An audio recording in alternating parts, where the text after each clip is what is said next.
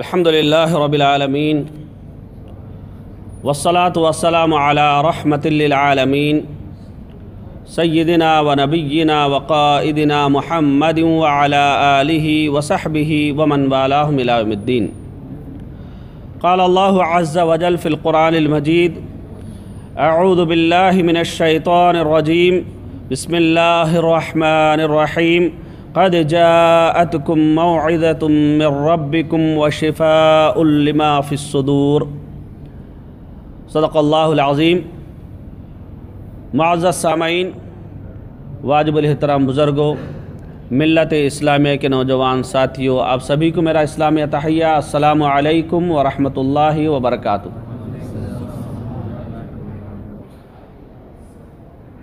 رب ذوالجلال سے دعا ہے کہ اللہ سبحانہ و تعالی ہمارے یہاں مل بیٹھنے کو، کہنے کو، سننے کو شرف قبولیت سے نوازے۔ آمین۔ رب شحلی صدری ویسلی امری وحل العقدم من لسانی یفقہ قولی۔ محترم سامعین، آج کا جو ہمارا موضوع ہے، وہ دل کی بیماریاں اور اس کا علاج۔ یعنی آج ہم جس موضوع کے تعلق سے بات کرنے جا رہے ہیں، وہ ہمارے جسم کا ایک ٹکڑا ہے۔ جس کے تعلق سے نبی رحمت صلی اللہ علیہ وسلم نے ارشاد فرمایا، الا و ان نفل جسد مصغت اذا صلحت صلح الجسد کلو و اذا فسدت فسد الجسد کلو الا وحی القلب۔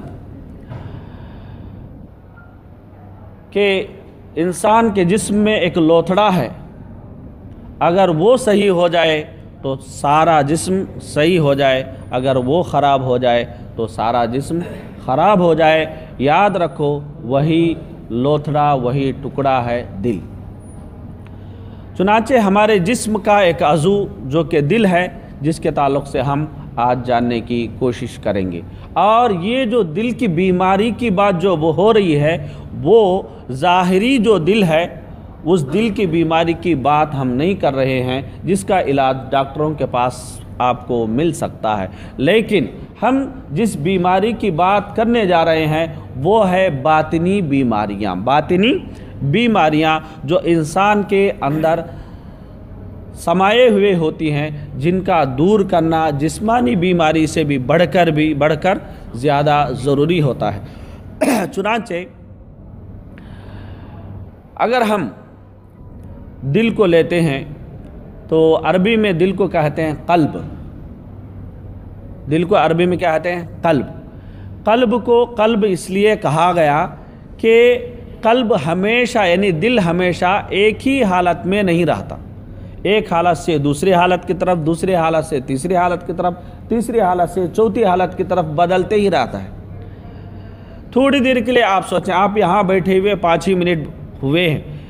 ان پانچ ہی منٹوں میں آپ کے دل کے اندر کتنے قسم کے خیالات آئے ہوں گے؟ کتنے قسم کے جو ہے موڑ جو ہے آپ کے دل میں جگہ کیے ہوں گے۔ یعنی دل ایک ہی حالت میں نہیں رہتا، اس، اسی لیے اس کو قلب کہا گیا۔ نبی رحمت صلی اللہ علیہ وسلم نے اسی پس منظر میں اللہ سبحانہ تعالیٰ سے آپ نے دعا کی تھی، یا مقلب القلوب ثبت قلوبنا علی طاعتک۔ اے دلوں کے پھیرنے والے، دل ایک ہی حالت میں نہیں رہتا، کبھی ادھر کبھی ادھر کبھی ادھر کودتا ہے تو کبھی ادھر اچھلتا ہے۔ تو دل کی حالت یہ رہتی ہے۔ تو نبی رحمت صلی اللہ علیہ وسلم نے فرمایا کہ اے دلوں کے پھیرنے والے، میرے دل کو، یا مقلب القلوب، اے دلوں کے پھیرنے والے، میرے دل کو تیری اطاعت پر ثابت قدمی عطا فرما۔ تیری اطاعت پر ثابت قدمی عطا فرما۔ چنانچہ جب ہم قرآن کی تلاوت کرتے ہیں تو قرآن میں اللہ سبحانہ تعالیٰ نے فرمایا کہ حافظ علی الصلوات۔ پہلے فرمایا کہ نماز قائم کرو، اس کے بعد اللہ نے فرمایا نمازوں کی حفاظت کرو، اس کے بعد اللہ سبحانہ تعالیٰ نے فرمایا نمازوں پر مداومت کرو۔ نمازوں پر مداومت کرو یعنی ہمیشہ آپ کو نماز پڑھتے رہنا ہے۔ ہمیشہ آپ کو نماز پڑھتے رہنا ہے۔ چنانچہ مدامت جو ہے، یہ بہت بڑی چیز ہے۔ اسی پس منظر میں نبی رحمت صلی اللہ علیہ وسلم نے ارشاد فرمایا، عمل چاہے چھوٹا ہی کیوں نہ ہو، وہ برابر کیا جاتا رہنا چاہیے۔ یہی چیز اللہ سبحانہ و تعالیٰ کو بہت زیادہ پسند ہے۔ کیونکہ ثبات قدمی جو ہے، ثابت قدمی جو ہے، یہی اللہ سبحانہ و تعالیٰ چاہتے ہیں۔ چنانچہ دل کی بڑی اہمیت ہے انسان کی زندگی میں، ہم سب کی زندگی میں۔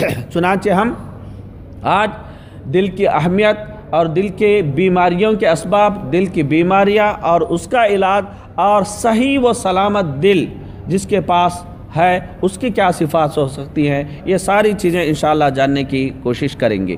تو محترم سامعین، اللہ سبحانہ و تعالیٰ نے دل کی اہمیت کو اجاگر کرتے ہوئے اللہ سبحانہ و تعالیٰ نے فرمایا، قد افلح من زکاہا قد افلح من زکاہا جس نے اپنے دل کو صاف کر لیا یا اپنے دل کا جس نے تزکیہ کر لیا، تو وہ کامیاب ہو گیا۔ وقد خواب من دساہا اور جس نے اپنے دل کا گلا گھوڑ دیا تو یقیناً وہ کیا ہے؟ نقصان میں ہے۔ یقیناً وہ کیا ہے؟ نقصان میں ہے۔ چنانچہ اللہ سبحانہ تعالیٰ حکم دیتے ہیں صورت المدثر میں کہ یا ایوہ المدثر قم فاندر وثیابک فتحر وثیابک فتحر یہاں عبداللہ بن عباس رضی اللہ تعالیٰ عنہ اور کئی سارے مفسرین کہتے ہیں، یہاں سیاب سے مراد ظاہری لباسی نہیں بلکہ دل مراد ہے۔ یہاں مراد کیا ہے؟ دل کو اللہ سبحانہ و تعالیٰ نے یہاں مراد لیا ہے۔ چنانچہ اللہ سبحانہ و تعالیٰ حکم دے رہے ہیں کہ تم اپنے دل کو پاک رکھو۔ یعنی دل کو پاک رکھنا یہ بڑی ہی اہمیت کا حامل ہے۔ دوسری جو چیز ہے وہ یہ کہ تمام جو ہمارے جسم کے اعضاء ہیں، ہمارے جسم کے اعضاء ہیں، ان سب اعضاء کا سرغنہ کمانڈر کون ہے؟ دل ہے۔ ان سب کا سرغنہ اور کمانڈر کون ہے؟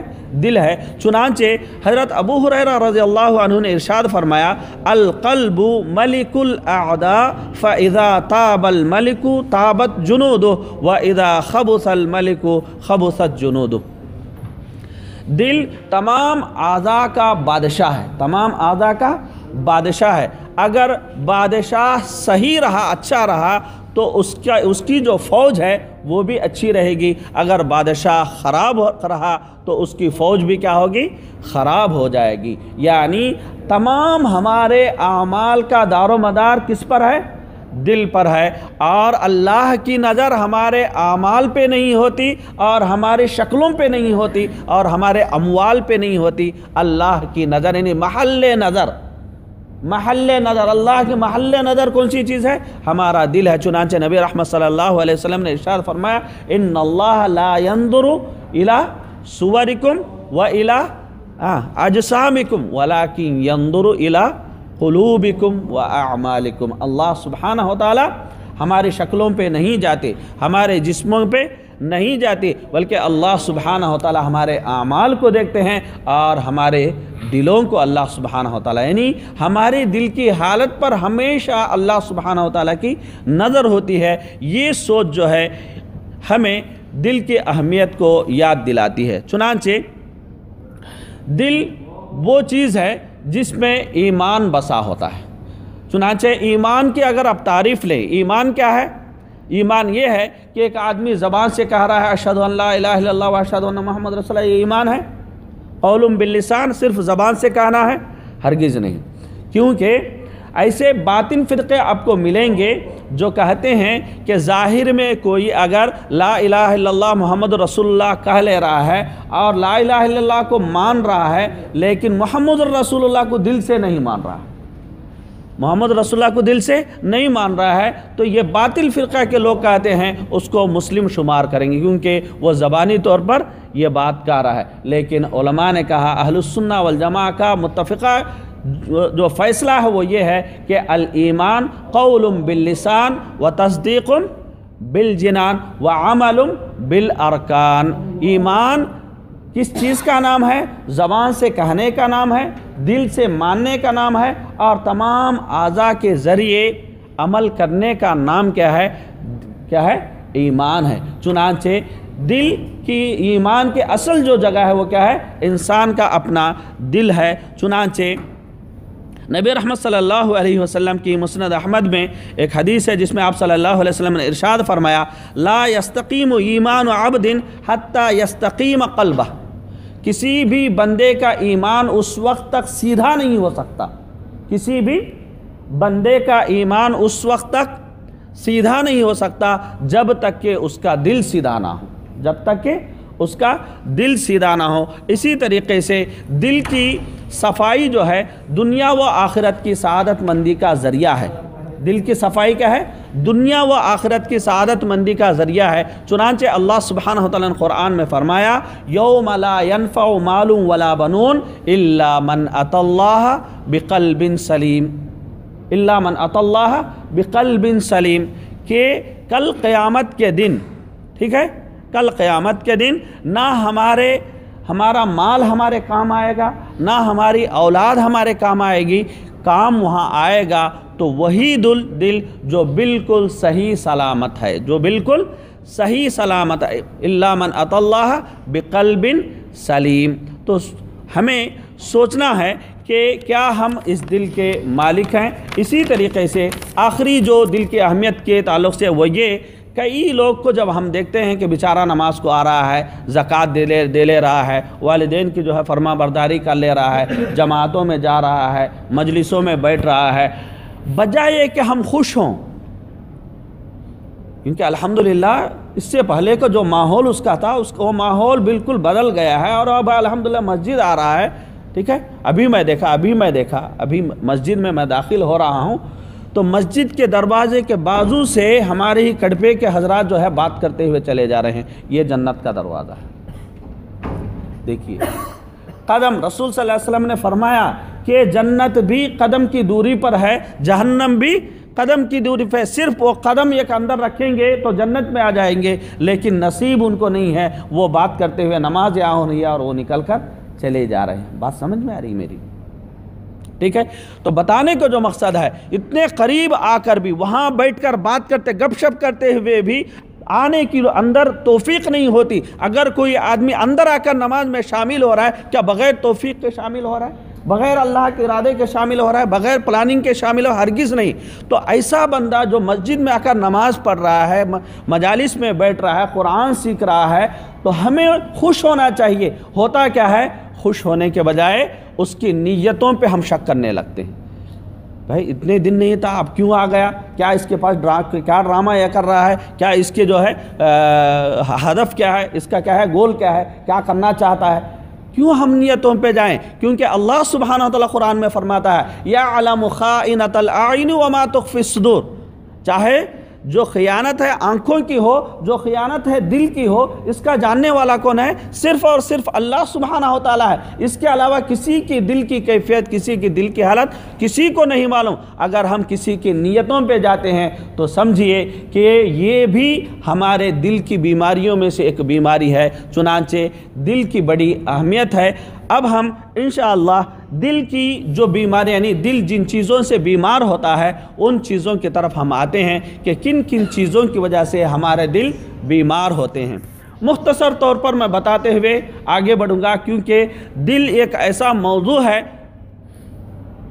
بلا تکلف میں کہوں گا، اس کے لیے اگر پورے دل کے اقسام ساری چیزوں کے تعلق سے مفصل انداز میں احادیث اور قرآن کو سامنے رکھ کر آپ کو بتانا ہے تو تقریباً میں کہوں گا کم سے کم تین گھنٹے درکار ہیں۔ تین گھنٹے درکار ہیں۔ اتنا بڑا موضوع جو ہے، دل ہے اور اتنی اہمیت کا حامل دل ہے۔ چنانچہ دل کی بیماری کے جو اسباب بتائے گئے ہیں قرآن حدیث کی روشنی میں، اس میں سے پہلا سبب جہالت ہے، دوسرا سبب فتنے ہیں، تیسرا سبب خواہشات ہیں، چوتھا سبب شبہات ہیں اور پانچواں سبب غفلت ہے، چھٹا سبب لالچ ہے اور ساتواں سبب غیر ضروری نرمی ہے، غیر ضروری نرمی ہے، اور آٹھواں سبب حرام مال کی کمائی اور حرام مال کی کا کھانا ہے، اور نواں جو سبب ہے، حرام چیزوں کی طرف دیکھنا ہے، اور دسواں جو سبب ہے، غیبت اور چغلی کرنا ہے، گیارہواں جو سبب ہے، دنیا ہی کو سب کچھ سمجھنا ہے، دنیا ہی کو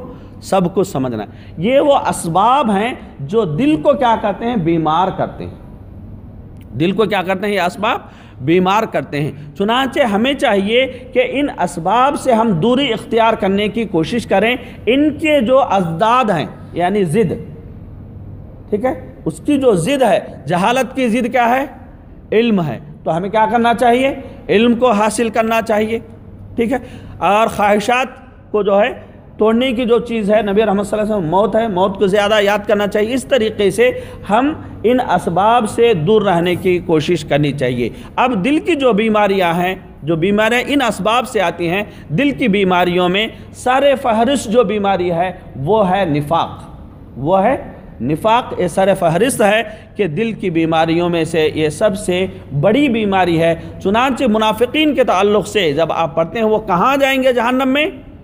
اسفل السافلین، سب سے نچلے درجے کا کی جو جہنم ہوتی ہے، اس جہنم میں جو ہے اللہ سبحانہ تعالیٰ نے جھوکے گا۔ وجہ کیا ہے؟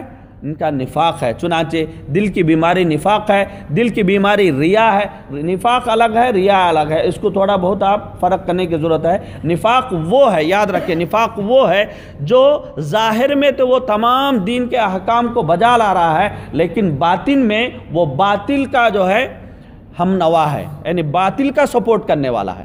ظاہر میں تمام دینی احکام کو بجا لا رہا ہے، لیکن ریا کیا ہے؟ وہ ریاکار نہیں ہے لیکن کبھی کبھی انسان کی کمزوری ہوتی ہے کہ آدمی نماز میں کھڑا ہے، کوئی بڑا آدمی آ گیا، کوئی اس کا پہچان کا آ گیا، اگر تھوڑی دیر کے لیے اس کے اندر کیا ہوتا ہے، اس قسم کا جذبہ پیدا ہو جاتا ہے، تھوڑا بہت وہ سنبھل جاتا ہے۔ تو یہ جو چیزیں ہوتی ہیں، یہ ریا میں شامل ہوتی ہیں۔ تو یہ نفاق کی سطح کو بعد میں پہنچتے ہیں، چنانچہ نفاق الگ ہے، ریا الگ ہے۔ دل کی جو بیماری ہے، وہ نفاق ہے، ریا ہے۔ تیسری جو بیماری ہے، شبہ اور شک ہے، چوتھی جو بیماری ہے، برا گمان ہے، پانچویں جو بیماری ہے، حسد ہے، اور چھٹی جو بیماری ہے، تکبر، عجب، احتقار اور احتضاء ہے۔ ساتویں جو بیماری ہے کینہ کپٹ ہے۔ آٹھویں جو بیماری ہے، مایوسی ہے۔ نویں جو بیماری ہے، غیر اللہ سے محبت ہے۔ دسویں جو بیماری ہے، غیر اللہ کا ڈر ہے۔ غیر اللہ کا ڈر ہے یعنی غیر اللہ سے محبت۔ کیونکہ والذین آمنوا اشد حب اللہ اور اللہ سبحانہ وتعالی نے فرمایا، تم لوگوں سے مت ڈرو، مجھ سے ڈرو۔ اللہ نے کہا، تم لوگوں سے مت ڈرو، مجھ سے ڈرو۔ آدمی اگر اللہ سے زیادہ کسی آدمی سے ڈرتا ہے، کسی دوسرے شخص سے ڈرتا ہے، کسی آفیزر سے ڈرتا ہے، تو یہ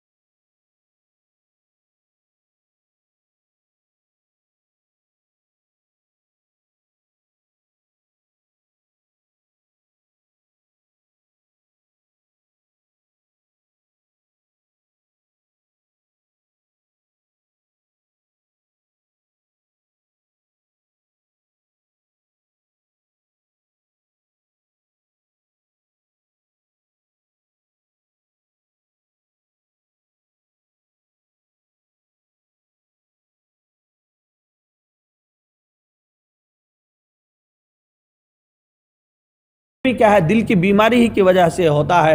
چنانچہ گیارہویں جو بیماری ہے، وہ وسوسے ہیں۔ بارہویں جو بیماری ہے، دل کا سخت ہو جانا ہے۔ اور تیرہویں جو بیماری ہے، باطل کی تائید ہے۔ باطل کی تائید ہے۔ چنانچہ کئی ساتھیوں کو آپ دیکھیں گے، وہ باطل کا دینی مسلمان ہیں، نماز پڑھ رہے ہیں، سارے سو مسلات کے پابند ہیں۔ لیکن وہ یہ کہتے ہوئے آپ کو نظر آتے ہیں کہ اسلام کا جو نظام ہے، اسلام کی جو شریعت ہے، اسلام جو زندگی گزارنے کا سسٹم ہمیں دیتا ہے، وہ اس زمانے میں قابل قبول نہیں ہے۔ یہ کیوں کہہ رہا ہے وہ؟ یعنی اس کے بنسبت وہ ڈیموکریسی کو پسند کر رہا ہے، کمیونزم کو پسند کر رہا ہے یا کسی اور جو ہے فکر کو وہ پسند کر رہا ہے، ترجیح دے رہا ہے، اس کی وجہ کیا ہے؟ اس کا دل بیمار ہے، اس کا دل اس بیماری کا شکار ہے۔ اب اس دل کی بیماریوں کا علاج کیا ہے؟ دل کی بیماری کا علاج کیا ہے؟ آئیں ہم اس کو بھی جاننے کی کوشش کریں۔ سب سا، سب سے پہلا جو نسخہ ہے، دل کی بیماریوں کو بالکل ختم کرنے کا سب سے پہلا جو نسخہ ہے، وہ ہے ہمارے عقیدے کی اصلاح۔ ہمارے عقیدے کی اصلاح، عقیدے کی اصلاح کے بغیر کسی کا بھی دل مکمل طور پر شفا یاب ہو نہیں سکتا۔ اس کو یاد رکھ لیں، ذہن نشین کر لیں۔ بہت سے لوگوں نے کیا ہے بھائی، عقیدہ عقیدہ کرتے ہیں، ہمیشہ عقیدہ، عقیدے کی بات کرتے ہیں۔ کیا ہے عقیدہ؟ ہم اللہ کو مانتے ہیں، رسول کو مانتے ہیں۔ کیا یہی ہے عقیدہ؟ کیا یہی عقیدہ؟ آپ قرآن پڑھیں گے کہ منافقن یہ کہتے تھے کہ ہم مانتے ہیں کہ آپ اللہ کے رسول اللہ سبحانہ وتعالی فرماتے ہیں، اللہ کو معلوم ہے کہ آپ اللہ کے رسول ان کو کہنے کی ضرورت نہیں ہے۔ یعنی اللہ کے رسول کو اللہ کے رسول ماننا، اللہ کو جو ہے ہمارا رب ماننا ہی کافی نہیں ہے۔ اس کے ساتھ کئی ساری چیزیں جڑی ہوئی ہیں۔ ان ساری چیزوں کا جاننا بے حد ضروری ہے۔ چنانچہ امام ابن تیمیہ رحمۃ اللہ علیہ فرماتے ہیں ان من اعظم وسائل علاج القلب ان يمتلي قلب الانسان بحب اللہ دل کی جو بیماریاں ہیں، ان بیماریوں کو دور کرنے کا سب سے بہترین نسخہ یہ ہے۔ دیکھیں، سوچیں، سب سے بہترین نسخہ یہ ہے کہ بندے کا دل اللہ کی محبت سے بھر جائے۔ بات سمجھ میں بندے کا دل اللہ کی محبت سے بھر جائے تو وہ دل مکمل طور پر شفا یاب ہو جاتا ہے، اس میں کوئی بیماری نہیں رہتی۔ اسی کو ہم نبی رحمت صلی اللہ علیہ وسلم کے فرمان کی روشنی میں جاننے کی اگر کوشش کریں، نبی رحمت صلی اللہ علیہ وسلم نے فرمایا، من احب للہ و ابغض للہ و اعطا للہ و منع للہ فقد استکمل الایمان جس نے اللہ کی خاطر کچھ دیا، جس نے اللہ کی خاطر کچھ دینے سے رکا رہا، جس نے اللہ کی خاطر محبت کی، جس نے اللہ کی خاطر کسی سے بغاوت کیا، بغض کیا، ٹھیک ہے؟ اس کا ہر فعل میں اللہ کی مشیت شامل ہو تو نبی رحمت صلی اللہ علیہ وسلم نے فرمایا، فقد استکمل الایمان اس کا ایمان کیا ہو گیا؟ مکمل ہو گیا۔ ایمان مکمل ہو گیا کمانا کیا ہے؟ بیماریاں ساری کی ساری ختم ہو گئیں۔ چنانچہ ہمارے دلوں کو ہمیں چاہیے کہ اللہ کی محبت سے ہم معمور رکھیں، اللہ کی محبت کو ہمارے دلوں میں بسانے کی کوشش کریں۔ دوسری، دوسرا جو بہترین نسخہ ہے، وہ ہے اخلاص۔ دوسرا بہترین نسخہ کیا ہے؟ وہ ہے اخلاص۔ اللہ سبحانہ و تعالیٰ قرآن میں آپ دیکھیں گے، وما امرو اللہ لیا اللہ بس۔ اس کے بعد کیا؟ مخلصین لہ الدین۔ کیا صرف اللہ نے عبادت کا حکم دیا؟ نہیں۔ عبادت کے ساتھ ساتھ اللہ نے اخلاص کا حکم دیا کہ عبادت ہو کس کے لیے؟ اللہ کی رضا کی خاطر ہو، اللہ کی خوشنودی اس عبادت کے ذریعے جو ہے مطلوب ہو۔ چنانچہ اللہ سبحانہ وتعالی حکم دیتے ہیں، قل ان صلاتی و نسخی و محیا و مماتی۔ کس کے لیے؟ کہہ دو، یقیناً میری نماز، میری قربانی، میرا جینا، میرا مننا، سب کا سب کس کے لیے؟ للہ رب العالمین دو تمام جہانوں کا رب ہے، پروردگار ہے، اس اللہ کے لیے جو ہے میری ساری عبادتیں ہیں۔ یہ اللہ سبحانہ و تعالیٰ قرآن میں ہمیں حکم دیتے ہیں۔ اس کے بعد تیسرا جو بہترین نسخہ ہے دل کے بیماریوں کے علاج کا، وہ ہے بہترین اتباع۔ بہترین اتباع۔ کیا بہترین اتباع؟ مثال کے طور پہ ہم کہہ سکتے ہیں کہ ہم نماز ویسا ہی پڑھتے ہیں جیسا رسول صلی اللہ علیہ وسلم نے پڑھا۔ ہم روزے ویسا ہی رکھتے ہیں جیسا رسول صلی اللہ علیہ وسلم نے رکھا۔ ٹھیک ہے؟ عمل کرنے سے بڑھ کر عمل کی اصلاح پر ہماری نظر ہونی چاہیے۔ عمل ڈھیر سارا عمل ہم کر رہے ہیں۔ اسلام کس کو نہیں دیکھتا؟ کوانٹیٹی کو اسلام نہیں دیکھتا۔ اسلام کوالٹی کو دیکھتا ہے۔ کس کوالٹی کا یہ عمل ہے؟ جس کا عمل جتنا قریب نبی رحمت صلی اللہ علیہ وسلم کی سنت سے قریب ہوگا، وہ عمل اللہ سبحانہ تعالیٰ کے دربار میں اتنا ہی مقبول ہوگا۔ اور جس کا عمل نبی رحمت صلی اللہ علیہ وسلم کے سنت سے جتنا ہی دور ہوگا، اس کی قبولیت کے جو مواقع ہیں اتنے ہی کم ہو جاتے ہیں۔ چنانچہ حسن اتباع جو ہے یعنی اچھی طریقے سے آپ صلی اللہ علیہ وسلم کی اتباع کرنا، اللہ سبحانہ قرآن میں فرمایا، قل ان کنتم تحبون اللہ فتبعونی یحببکم اللہ۔ تم چاہتے ہو کہ تمہارے دل اللہ کی محبت سے بھر جائیں۔ تم چاہتے ہو کہ اللہ سبحانہ تعالیٰ تم سے محبت کرے۔ ٹھیک ہے؟ دونوں صورتوں میں تمہارے دل اللہ کی محبت سے بھرے۔ اس صورت میں بھی، اس صورت میں بھی کہ اللہ سبحانہ تعالیٰ تم سے محبت میں کیا کرنا ہے؟ فتبعونی اے نبی کریم صلی اللہ علیہ وسلم، بتا دو کہ وہ تمہاری اتباع کرے یعنی نبی رحمت صلی اللہ علیہ وسلم کی اتباع سے ہمارے دل کی بیماریوں کا علاج ممکن ہے۔ چنانچہ اللہ سبحانہ القرآن میں فرماتے ہیں، ما اتاکم الرسول فخدو وما نہاکم عنہ فنتہو جو بھی نبی رحمت صلی اللہ علیہ وسلم آپ کو دیں، اس کو آپ لے لو۔ اور جس سے بھی نبی رحمت صلی اللہ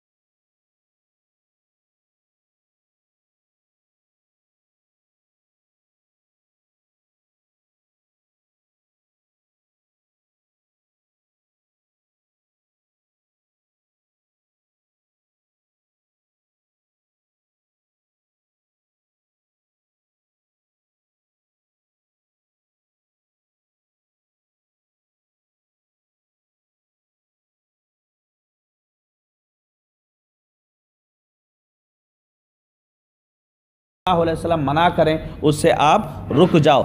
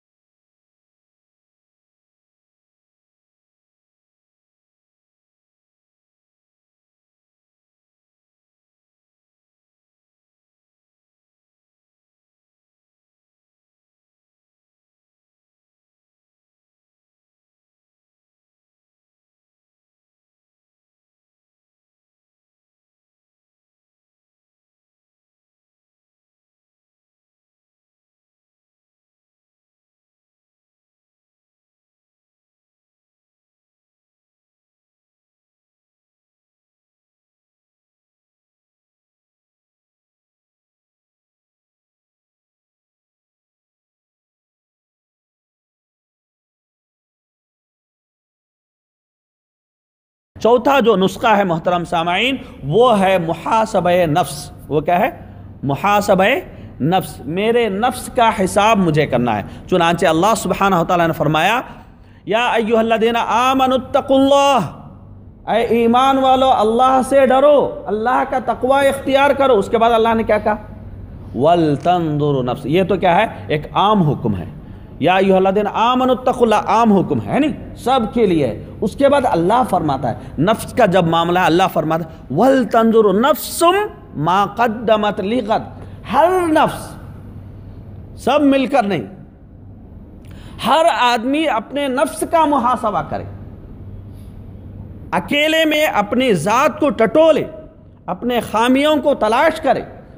وَلْتَنظُرُ نَفْسُمْ مَا قَدَّمَتْ لِغَدْ، کل کے لیے اس نے کیا تیاری کر رکھی ہے؟ وَاتَّقُ اللَّهُ اس کے پار پھر جمع کسے گا؟ اللہ فرماتے ہیں کہ تم اللہ کا تقوی اختیار کرو۔ لیکن احتساب نفس کی جہاں بات آئی، اللہ نے سیغ واحد استعمال کیا۔ اس لیے احتساب تمام لوگوں کو مل کر تمام لوگوں کے ساتھ نہیں ہوتا۔ ہر آدمی اپنے طور پر اپنا احتساب کر سکتا ہے۔ چنانچہ یہ ایک جو اثر ہے، نبی رحمت صلی اللہ علیہ وسلم کا، اس اثر کے تعلق سے بھی ہمیں جاننا ضروری ہے۔ آپ صلی اللہ علیہ وسلم نے فرمایا، القیس من دان نفسہ وعمل لما بعد الموت۔ عقل مند وہ ہے، ٹھیک ہے؟ اس کو ہم کہتے ہیں آج کے زمانے میں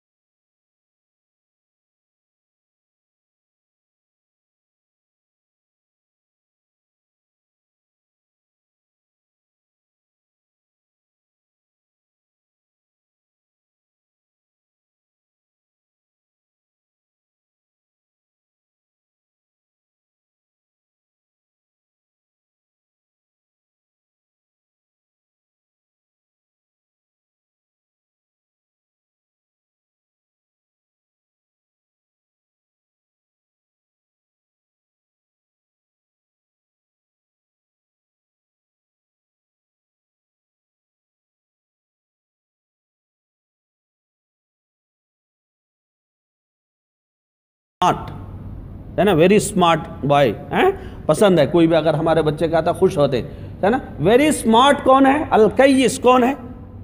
آپ سنتے ہوں گے مصری حضرات سے کوئس کوئس ہاں تو وہی ہے، اسی سے آیا۔ القیس یعنی ویری اسمارٹ پرسن کون ہے؟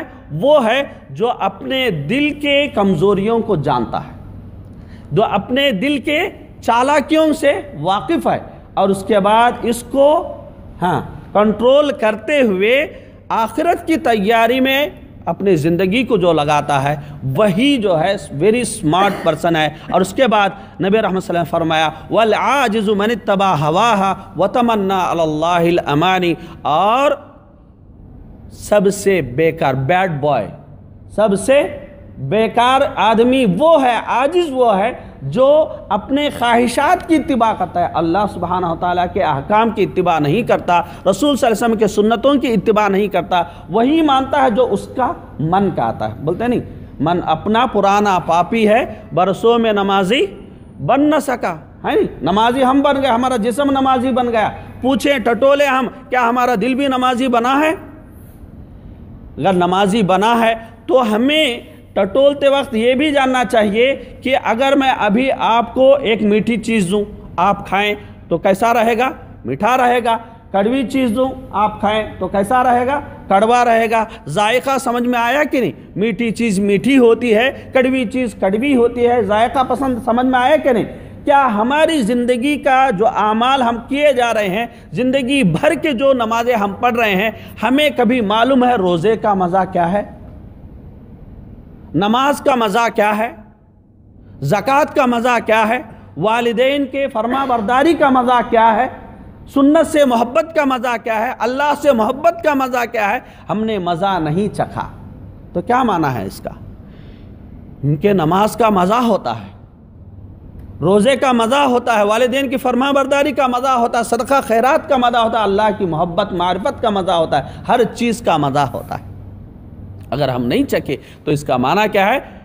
ہم برسوں سے تو ہم نمازی بن گئے ہیں، ہمارا دل ابھی نمازی نہیں بنا ہے۔ چنانچہ ہم اس طرف جو ہے قدم آگے بڑھانا چاہیے۔ تو محترم سامعین، عقل حلال یعنی حلال کمائی کمانا بھی ہے، حلال کمائی کھانا بھی ہے، حلال کمائی کو حلال راستے میں خرچ کرنا بھی ہے۔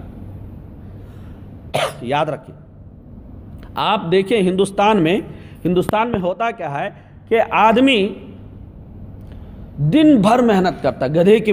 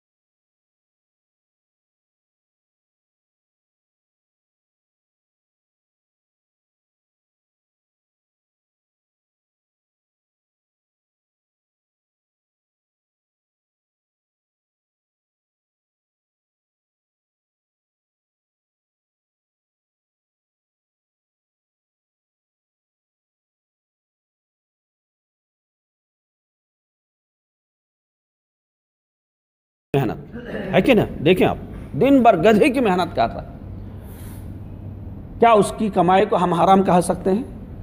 ہرگز نہیں کہہ سکتے۔ لیکن شام ہوتے ہی آٹو ڈرائیور سے لے کر دیگر سب لوگوں کے تعلق میں ٹھیک ہے؟ چھ بج گئے نا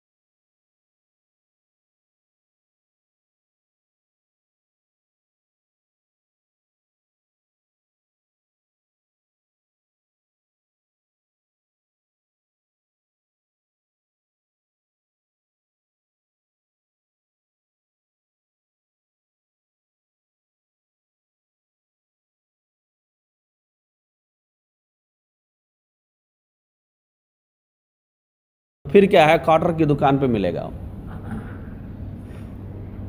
یعنی اپنی حلال کی کمائی، دن بھر محنت کر کے پسینہ بہا کے جو کمانی، کمائی اس نے کمائی ہے، شام ہوتے ہوتے گھر پہنچنے سے پہلے ہی جو ہے، وہ حرام میں خرچ کر کے جو ہے جا رہا۔ اس کا معنی کیا ہے؟ کیوں ہو رہا ہے یہ؟ یہ اس کے اپنے دل کی وجہ سے ہو رہا ہے۔ اس کا دل بیمار ہے۔ بیمار ہونے کے اسباب کو اس نے اپنایا ہے۔ چنانچہ اس کے ساتھ ایسا ہو رہا ہے۔ چنانچہ نبی رحمت صلی اللہ علیہ وسلم کے دو کا اقوال کو میں رکھوں گا آپ کے سامنے۔ یہ قول ہے کہ ایک شخص دور کا سفر کر کے کہاں پہنچ گیا؟ کہاں پہنچ گیا؟ مکہ پہنچ گیا۔ دور کا سفر کر کے مکہ پہنچ گیا۔ ٹھیک ہے؟ پورے اس کا جو لباس ہے وہ میل کچیل سے بھرا ہوا ہے اور بال بھی اس کے بکھرے ہوئے ہیں۔ دیکھتے ہی سمجھ میں آتا ہے کہ بہت دور سے سفر کر کے آیا وہ ہاتھ اٹھا کر دعا کر رہا ہے، یا ربی یا ربی! دعا کر رہا ہے کہ اے میرے رب، اے میرے رب! نبی رحمت صلی اللہ علیہ وسلم فرماتے ہیں کہ اس کی دعا کیسے قبول ہوگی؟ مَأْكَلُهُ حرام وَمَشْرَبُهُ حرام! وہ کھاتا حرام کا ہے، وہ پیتا حرام کا ہے، وہ پہنتا حرام کا ہے، اس کے جسم کا ہر ٹکڑا جو ہے، حرام کی کمائی سے پلا ہوا ہے۔ فَأَنَّا اسْتَجَابُ لَهَا۔ تو اس کی دعا کیسے قبول ہوگی؟ اس کی دعا کیسے قبول ہوگی؟ چنانچہ ایک حدیث یہ آپ کے سامنے رکھی ہے میں نے۔ دوسری جو حدیث میں آپ لوگوں کے سامنے رکھنا چاہتا ہوں، وہ یہ کہ آپ صلی اللہ علیہ وسلم دعا کرتے تھے۔ دعا کا اہتمام کریں میرے دوستوں۔ دعا کا اہتمام کر، سوچیں آپ، نبی رحمت صلی اللہ علیہ وسلم کے دل کو ان کے دل کے تعلق سے سوچیں۔ پانچ سال کی عمر میں نبی رحمت صلی اللہ علیہ وسلم کے دل کو زمزم سے فرشتے آ کر دھوئے تھے دھوئے تھے، نہیں دھوئے تھے۔ ٹھیک ہے، معراج کو جب لے جایا گیا تھا، پھر نبی رحمت صلی اللہ علیہ وسلم کو کے دل کو دھویا گیا، دھوئے گئے، دھوئے تھے، نہیں دھوئے تھے۔ یعنی نبی رحمت صلی اللہ علیہ وسلم کے دل سے بڑھ کر پاکیزہ دل کسی کا نہیں ہو سکتا۔ ایسے پاکیزہ دل کے مالک نبی رحمت صلی اللہ علیہ وسلم اللہ سے دعا کریں، یا مقلب القلوب۔ اے دلوں کے پھیرنے والے، ثبت قلبی۔ میرے دل کو تیرے اطاعت پر ثابت قدم رکھ۔ تو ہمارے دل کہاں دھلے ہیں؟ ہمارے دل کہاں دھلے ہیں؟ کتنے جو ہے، گناہوں سے ہمارے دل جو ہے، بالکل ناپاک ہو چکے ہیں، تو ہمیں دعا کی ضرورت ہے نہیں۔ چنانچہ دعاؤں کا اہتمام کریں۔ نبی رحمت صلی اللہ علیہ وسلم دعا کرتے تھے، اللہم مکفنی بحلالک عن حرامک۔ اللہم مکفنی بحلالک عن حرامک۔ اللہم انی اسألکا علما نافعا وعملا متقبلا ورزقا طیبا۔ ہے نہیں؟ رزقا طیبا رزقا طیبا کا معنی کیا ہے؟ ان اللہ طیب لا اقبل اللہ طیبا اللہ سبحانہ و تعالیٰ پاک ہیں۔ پاکیزہ چیزوں ہیں کہ اللہ سبحانہ و تعالیٰ پسند فرماتے ہیں۔ چنانچہ نبی رحمت صلی اللہ علیہ وسلم دعا کرتے تھے، اے اللہ، میرے لیے حلال کمائی کو کافی کر دے، حرام کی طرف میری نظر نہ جائے۔ یہ بہت بڑی بات ہے۔ یہ بہت بڑی بات ہے۔ آج کے دور میں آپ ہندوستان یا دیگر علاقوں میں جہاں بھی آپ رہتے ہیں، جا کے دیکھیں، وہاں یہ جو ماحول بنایا گیا ہے، بنا ہوا ہے، وہ یہی ہے کہ یہ ضرور دیکھا جا رہا ہے کہ مالدار ہے کہ نہیں۔ یہ ہرگز نہیں دیکھا جا رہا ہے کہ وہ کیسے مالدار ہوا ہے۔ وہ حرام طریقے سے کمایا ہے، حلال طریقے سے کہا ہے، اس کو کوئی بھی لحاظ میں نہیں لے رہا ہے۔ دیکھ رہے ہیں بس کہ مالدار ہے کہ نہیں۔ تو ہمیں ایک مسلمان کی حیثیت سے، ایک مومن کی حیثیت سے ہماری کمائیوں پہ نظر ہونی چاہیے، اللہ کے ہاں دعا کرنی چاہیے۔ کیونکہ اگر حرام کی کمائی ہم نے کھائی تو ہمارے دل کیا ہوں گے؟ بیمار ہو جائیں گے۔ اس کے بعد چھٹی جو، چھٹا جو نسخہ ہے، وہ ہے قرآن کی تلاوت۔ سنیں، آپ صبر کے ساتھ سنیں۔ یہ ہمارے لیے بے حد ضروری ہیں۔ بے حد ضروری ہیں، اس لیے میں بتا رہا ہوں، یاد رکھیں۔ اس لیے میں بتا رہا ہوں کہ جسم کے جتنی بھی بیماریاں ہوں اہمیت بتا رہا ہوں آپ کو۔ جسم کی جتنی بھی بیماریاں، خطرناک سے خطرناک بیماری۔ بات سمجھ میں آ رہی میری؟ خطرناک سے خطرناک بیماری موت سے ختم ہو جاتی۔ اس کا درد، اس کی تکلیف موت سے ختم۔ ہے کہ نہیں بولی کوئی بھی بیماری جسم کی موت سے ختم ہو جائے، لیکن دل کی بیماری کی تکلیف موت کے بعد شروع ہوتی۔ دل کی بیماری کی تکلیف موت کے بعد شروع ہوتے چنانچہ صحابہ کا انتقال کا جب وقت آیا، اقارب جب رونے لگے، ان کی تکلیف کو دیکھ کر بلبلانے لگے، تو اس وقت صحابہ کی زبانی کیا کیا الفاظ آئے تھے۔ کیا باتیں انہوں نے کہی تھی؟ کہ بیٹی، آج کے بعد تیرے باپ کو تکلیف نہیں ہوگی۔ کیا معمولی بات سمجھ رہے ہیں اس کو آپ؟ آپ سمجھ رہے ہیں کہ زندگی کے تکلیفوں کے تعلق سے وہ بات کر رہے ہیں؟ ہر کس نے جن کو ہمیشہ آخرت کی فکر ہو، جنت پر جن کی نظر ہو، اللہ کی خوشنودی جن کی زندگی کا مقصد بن چکی ہو، کیا وہ دنیاوی تکالیف کے تعلق سے بات کریں گے؟ چنانچہ اپنی بیٹی سے مخاطب ہو کر فرماتے ہیں، آج کے بعد تمہارے باپ کو کوئی تکلیف نہیں ہوگی۔ میں محمد صلی اللہ علیہ وسلم اور ان کے ساتھیوں سے ملاقات کرنے جا رہا ہوں۔ ٹھیک ہے؟ تو نیک انسان کی تمام تکلیفیں موت پر کیا ہے اینڈ ہو جاتی ہیں اور برے انسان کی جو تکلیفیں ہیں موت کے بعد شروع ہوتی ہیں۔ یہ دل کی اہمیت ہے۔ چنانچہ قرآن کی تلاوت، دل کی شفا کے لیے قرآن کی تلاوت۔ شروع میں میں نے ایک آیت تلاوت فرمائی، جس میں اللہ سبحانہ تعالیٰ فرماتے ہیں، قد جاءتکم موعدت من ربکم وشفاء لما فی الصدور۔ لما فی الصدور۔ غور کریں۔ نبی رحم اللہ سبحانہ تعالیٰ فرماتے ہیں آئے لوگو، تمہارے رب کے پاس سے تمہارے رب کے پاس سے تمہارے لیے ایک نصیحت آئی ہے۔ ایک نصیحت آئی ہے۔ اور یہ نصیحت دلوں میں جو بھی روگ ہیں، ان کے لیے شفا ہے۔ دلوں میں جو بھی روگ ہے اب کتنے روگ کا بیان ہوا ہے یہاں؟ گیارہ اسباب بیان ہوئے ہیں اور تیرہ جو ہے، روگ بیان ہوئے ہیں۔ گیارہ اسباب اور تیرہ روگ بیان ہوئے ہیں۔ اس سے زیادہ بھی کیوں نہ ہو کتنی ہی بیماریاں کیوں نہ ہو جتنی بھی بیماریاں دل سے جڑی ہوئی ہیں، تمام بیماریوں کا واحد حل اللہ سبحانہ تعالیٰ شفاء لما فی الصدور۔ جو بھی بیماری دل میں ہے، اس کو شفا بخشنے والی کتاب کون سی ہے؟ وہ ہے قرآن۔ چنانچہ نبی رحمت صلی اللہ علیہ وسلم نے ارشاد فرمایا، جیسے لوہے کو زنگ لگتا ہے، جیسے لوہے کو زنگ لگتا ہے، دلوں کو بھی زنگ لگتا ہے۔ جیسے لوہے کو زنگ لگتا ہے، دلوں کو بھی زنگ زنگ لگتا ہے۔ لوہے کے زنگ کو آگ دور کرتی ہے اور دلوں کے زنگ کو قرآن دور کرتی ہے دلوں کے زنگ کو قرآن دور کرتی ہے۔ چنانچہ غور کریں کہ قرآن یہ ایک بہت ہی تجربہ کار نسخہ ہے دلوں کی بیماریوں کے علاج کے لیے۔ چنانچہ جب ہم خطبہ جمعہ سنتے ہیں تو آپ خطیب کے پاس کچھ الفاظ سنتے ہوں گے۔ وہ کیا ہے؟ اللہم ارنا الحق حقا ورزقنا اتباع و الحق باطلا ورزقنا استنابہ سنتے ہوں گے نہیں؟ کئی بار آپ سنے ہوں گے۔ ٹھیک ہے؟ یہاں کیا دعا کر رہے ہیں ہم اللہ سے؟ اللہ سے ہم دعا کر رہے ہیں، اے اللہ ہمیں حق کو حق دکھا۔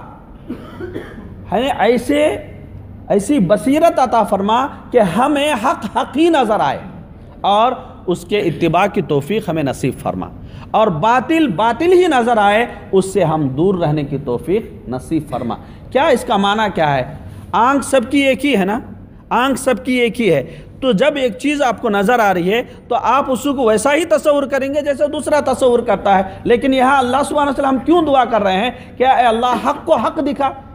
کیونکہ حق سامنے ہے، لیکن آپ جب دیکھتے ہیں، آپ کو وہ حق لگ سکتی ہے، لیکن دوسرے کو وہ باطل لگ سکتی ہے۔ اس کی وجہ یہ آنکھیں نہیں ہیں۔ اس کی وجہ یہ آنکھیں نہیں ہیں۔ اللہ سبحانہ وتعالی قرآن میں فرمایا، لا تعمل ابصار۔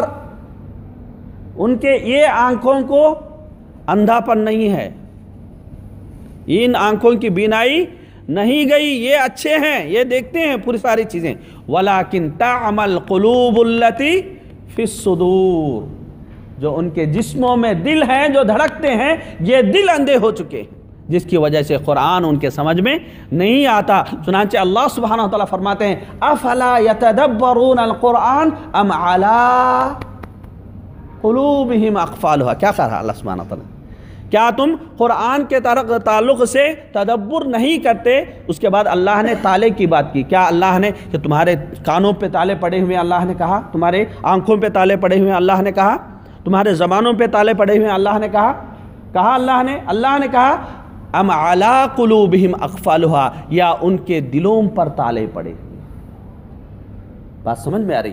چنانچہ، ایمان کس کا نام ہے؟ ایمان ہے حرکت کا نام، یاد رکھیں۔ ایمان ہے، حرکت کا نام، جمود کا نام ایمان ہرگز نہیں ہے۔ جمود کا نام ایمان ہرگز نہیں ہے۔ چنانچہ میں آپ سے درخواست کرتا ہوں، نبی رحمت صلی اللہ عمل صالح کے تعلق سے میں بتانے جا رہا ہوں۔ نبی رحمت صلی اللہ علیہ وسلم کا ارشاد بھی میں آپ کے سامنے رکھوں گا۔ اللہ سبحانہ وتعالی فرماتے ہیں، فمن کان یرجو لقاء ربی فلیعمل عملا صالحا ولا یشرک بعبادت ربی احدا اللہ سے ملاقات کی خواہش اگر آپ کو ہے تو عمل صالح کرنا ہے۔ نبی رحمت صلی اللہ علیہ وسلم فرمایا، آج کون روزے سے ہے؟ ابو بکر نے کہا، میں روزے سے ہوں۔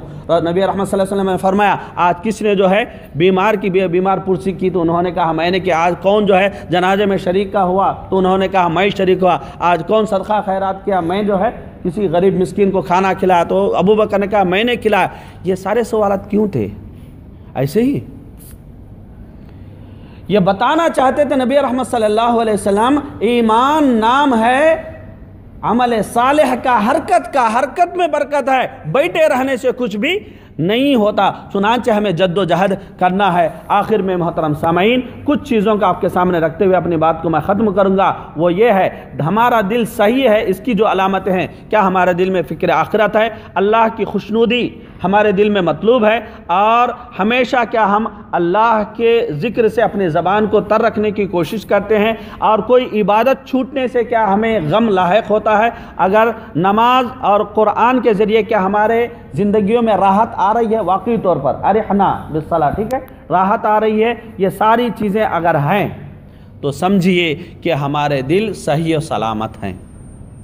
اگر ان چیزوں میں سے کچھ چیزیں نہیں ہیں، توبہ استغفار ہم نہیں کر رہے ہیں۔ عبادت کی لذت ہمیں نصیب نہیں ہو رہی ہے۔ عمل سے بڑھ کر عمل کی اصلاح کی کوشش ہم نہیں کر رہے ہیں۔ اگر یہ ساری چیزیں ہم نہیں کر رہے ہیں، تو ہم ہمارے دلوں کا جائزہ لینا ہے اور ان دلوں کو پاک و صاف کرنے کی کوشش کرنی ہے۔ اور اللہ سبحانہ و تعالیٰ کی رضامندی کو چاہتے ہوئے خلوت میں اور جلوت میں بھی اللہ سے ڈرتے رہنا ہے۔ آخری نبی رحمۃ صلی اللہ علیہ وسلم کے بعد سے میں اپنی بات کو ختم کروں گا۔ نبی رحمۃ صلی اللہ علیہ وسلم نے فرمایا، یہ وہ لوگ ہیں جو تمہارے ساتھ نماز پڑھتے ہیں۔ یہ وہ لوگ ہیں جو تمہارے ساتھ نماز پڑھتے ہیں اور تم جیسا قیام اللیل کا اہتمام کرتے ہو، یہ بھی اہتمام کرتے ہیں۔ غور کریں، تمہارے ساتھ نماز پڑھتے ہیں، قیام اللیل کا، تہجد کا جیسا تم اہتمام کرتے ہو، یہ بھی کرتے ہیں۔ لیکن جب یہ تنہائی میں چلے جاتے ہیں یعنی اللہ کی حرام کی ہوئی چیزوں کے درمیان جب یہ ہوتے ہیں اور اکیلے ہوتے ہیں، تو سارے کے سارے حدود کو یہ پار کر جاتے ہیں۔ یہ کس کا معاملہ ہے؟ یہ ظاہری معاملہ نہیں، جسم کا یہ کیا ہے؟ دل کا معاملہ ہے۔ اللہ سبحانہ تعالیٰ سے دعا ہے کہ اللہ سبحانہ تعالیٰ ہم سب کی خلوت میں بھی اور جلوت میں بھی حفاظت فرمائے اور ہمیشہ اللہ سبحانہ و تعالیٰ کو اپنے رب کے طور پر نبی رحمت صلی اللہ علیہ وسلم کو اپنے نبی کے طور پر اور اسلام کو اپنے دین کے طور پر رضا راضی و راضی ہو کر زندگی گزارنے کی جو ہے اللہ سبحانہ و تعالیٰ ہم سب کو توفیق عطا فرمائے۔